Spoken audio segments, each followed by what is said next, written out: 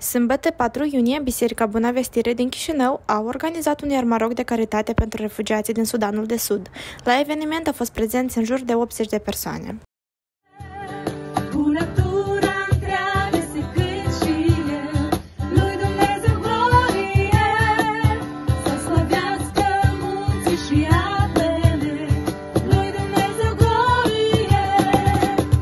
Pastorul bisericii Andrei Talmazan a avut un mesaj de încurajare pentru fiecare prezent, ca să se implice în această lucrare, pentru că dăruind ne adunăm comori în ceruri. Nu caută doar să primească. Uitați-vă aici, în context vorbește unui micuț.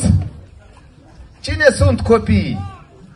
Copiii sunt cei care doar primesc. Ei caută să primească, să ia.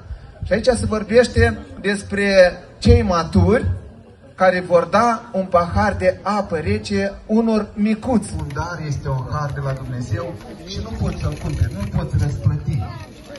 Dar faptele bune... Găti Dumnezeu mai dinainte ca să umblăm în ele și Domnul Iisus la Matei 10 cu 42 spune că pentru a primi o răsplată au fost în vânzare jucării, lucruri handmade, face paint și bucate delicioase pregătite cu drag de gospodinele bisericii și implicarea refugiaților din Ucraina.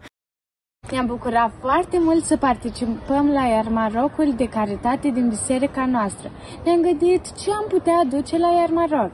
Pentru că știm să desenăm, ne-am gândit să îi bucurăm pe copii cu un desen frumos pe față. Copiii au rămas foarte fericiți. Am vrut să-i bucurăm pe copiii care nu au posibilitatea să aibă un animal acasă. Deci am adus hamsterul nostru ca să-l poată atinge și contribui cu ceva bănuți din a lor. Avem acasă și o hartă interactivă foarte interesantă. De aceea ne-am gândit ca să facem un concurs. Au participat soț cu soție, frate cu soră și prieteni. Ei trebuiau să găsească câte o țară și cine primul găsea acea țară primea un premiu foarte frumos.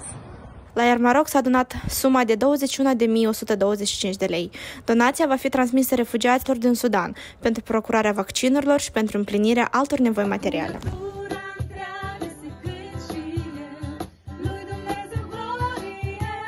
Astfel de evenimente de evangelizare și caritate sunt o modalitate deosebită de a se implica comunitatea în împlinirea nevoilor celor care trec prin încercări grele. Pentru a contribui la această lucrare puteți contacta pastorul Andrei Talmazan.